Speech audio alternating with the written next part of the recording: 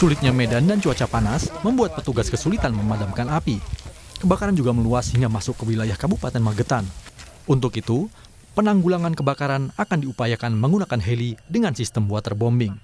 Orang sampai saat ini api masih menyala, belum bisa dipadamkan karena sulitnya uh, kontur daerah yang berbukit-bukit dan rapatnya vegetasi yang ada di atas sehingga memang tidak mudah namun upaya-upaya sampai saat ini kita laksanakan semaksimal mungkin termasuk rencana kita juga akan e, mengupayakan waterbombing yang saat ini sedang dikoordinasikan uh, siang hari tentunya untuk membatasi supaya tidak merembet ke peta tempat tiga yang di situ mayoritas vegetasinya adalah cemara yang mudah terbakar.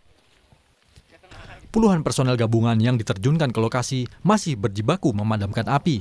Namun, medan yang sulit dan kondisi hutan yang kering membuat kebakaran sulit dipadamkan. Hendra Setiawan, Kompas TV, Ngawi, Jawa Timur. Untuk mengetahui situasi terkini, kita tanyakan langsung jurnalis Kompas TV Hendra Setiawan di Ngawi, Jawa Timur. Selamat siang Hendras, bagaimana kondisi kebakaran area sekitar Gunung Lawu saat ini? Apakah semakin meluas dari 150 hektar tersebut dan apa kendalanya? Ya, selamat siang, saudara. Uh, sampai siang ini saya berada di posko utama kebakaran hutan, penanganan kebakaran hutan Gunung Lawu di Ngawi, Jawa Timur. Memang hingga siang ini kobaran api masih membesar, masih meluas.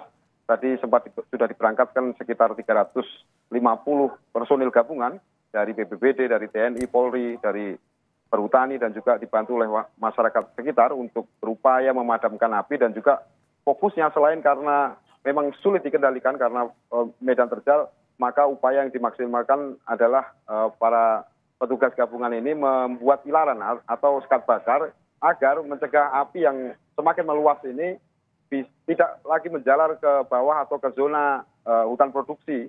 Karena jika menjalar ke hutan produksi ini juga mengancam uh, hutan produksi didominasi oleh pinus misalnya ini akan berdampak fatal karena sulit makin sulit dipadamkan dan juga itu juga mengarah ke permukiman.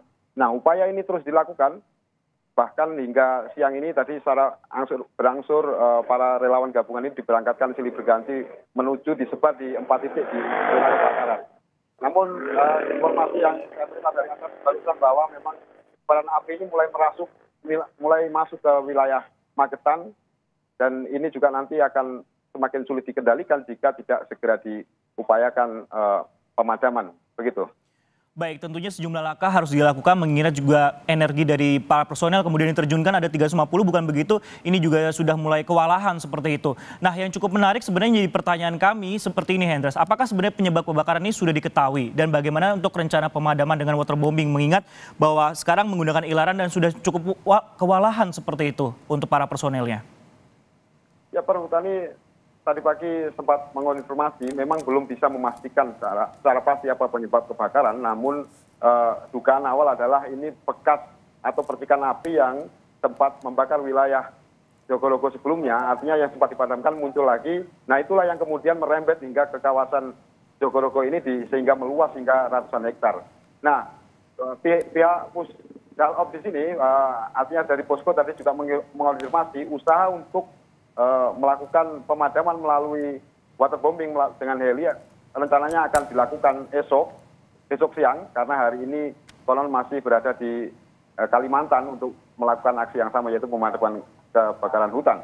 Nah, waterbombing ini kemudian yang nanti yang diharapkan bisa memutus api, bisa memadamkan api sehingga bencana kebakaran hutan yang melanda Gunung Lawu di Ngawi dan Magetan Jawa Timur ini segera bisa dipadamkan. Begitu harapannya juga rencana dari kedatangan waterbombing ini tidak telat seperti itu agar tidak meluas karena informasi yang terakhir yang kami dapatkan ini sudah, sudah masuk ke Kabupaten Magetan. Terima kasih Hendra Setiawan melaporkan langsung dari posko utama kebakaran Gunung Lawu di Ngawi, Jawa Timur.